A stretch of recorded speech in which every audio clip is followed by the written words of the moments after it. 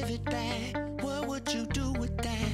I ask a lot of that. And if I gave you all my time when it's the summertime, and all my downtime, yeah, that's a lot of time.